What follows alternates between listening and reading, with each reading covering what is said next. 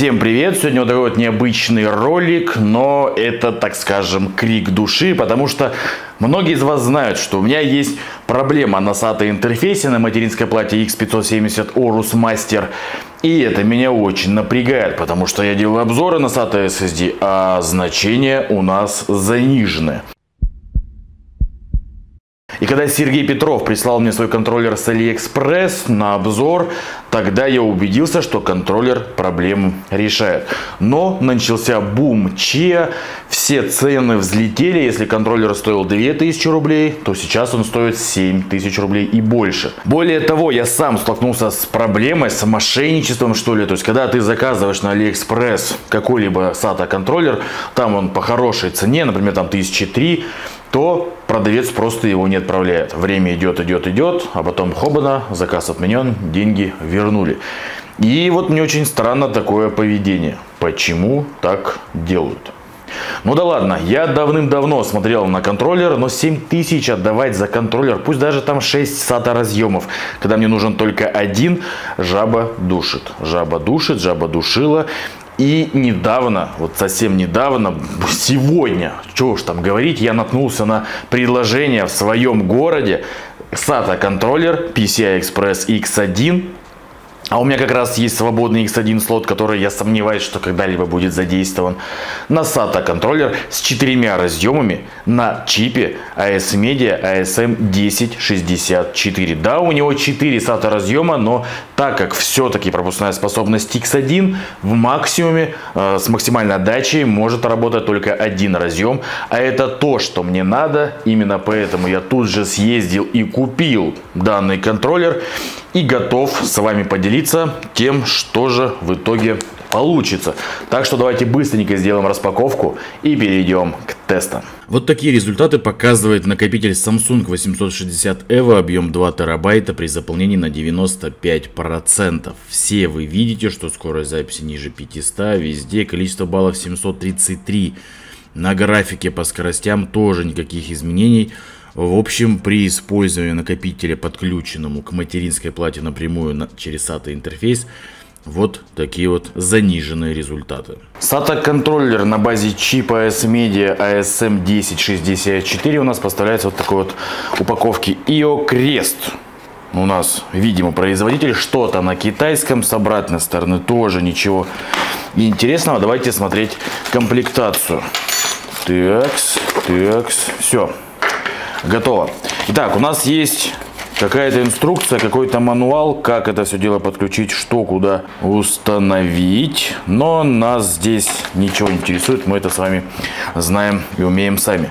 Итак, у нас есть низкопрофильная планка, отлично.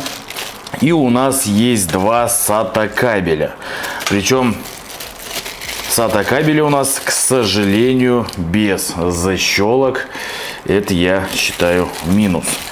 Ну и вот он, вот он наш контроллер. Так, давайте-ка мы сейчас все это отклеим и посмотрим, что у нас находится внутри. Вот он. Никакого радиатора здесь у нас нет. 4 SATA разъема и контроллер у нас ASM. Такс. AS Media ASM 1064. Так что давайте устанавливать и делать тесты. Итак, давайте смотреть. Контроллер установлен, SSD подключен. Все, SSD у нас определяется. Вопросов нет. Ну и ну, на всякий случай давайте запустим Crystal Disk Info. Посмотрим, что же у нас здесь. Да, все корректно, все определилось. Ну и первый тест, это Crystal Disk Mark. Прямо здесь мы и узнаем, есть результат от нашего внешнего PCI Express контроллера или нет. Тесты у нас завершены. Давайте прямо сейчас сравним с тестами, которые были от материнской платы. Да, прирост есть, прирост отличный и это радует. Так, давайте продолжать тестировать. Дальше у нас SSD Benchmark. Смотрим, сколько баллов накопитель наберет здесь. И вот, и вот это хороший, отличный результат. Практически 1200 баллов. Значение топовых SSD. Если мы сравним с тем, что было на материнской плате, 733. Разница колоссальная. И да, проблемы на материнской плате с SATA интерфейсом есть. Теперь запустим диск Benchmark и посмотрим, что накопитель покажет нам здесь. И здесь мы с вами можем увидеть практически 540 мегабайт в секунду на чтение, 511 на запись. Если опять же сравнить с тем, что было у нас на тестах, то прирост есть, и я считаю прирост великолепный особенно по записи. Ну и напоследок, Adja Video Systems, смотрим, что у нас будет по накопителю здесь, 500, 527, когда было 447 на запись и 508 на чтение. Да уж, отличные результаты, контроллер работает и наконец-то у меня вернулись настоящие значения в тестах SATA SSD накопителей. Ура, друзья, ура! Наконец-то скорости вернулись и наконец-то будут корректные значения на тестах SATA SSD накопителей. Контроллер Контроллер на чипе ASM 1064 полностью решил мою проблему.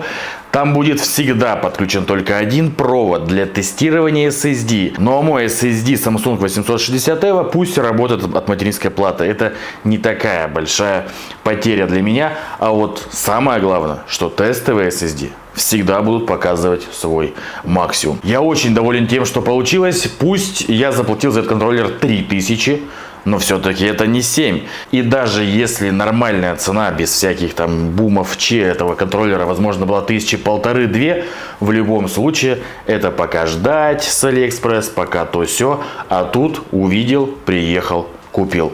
Что ж, Новые обзоры на SATA SSD накопители будут в полную силу, будут на максимуме.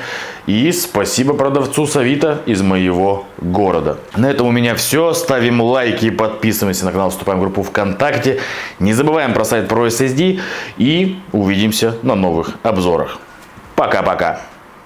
Ну и на всякий случай ссылка на продавца под этим видео. Переходите, смотрите, сравнивайте. Если вам нужен SATA контроллер, то смело можете покупать. Я проверил, все работает, все мне нравится.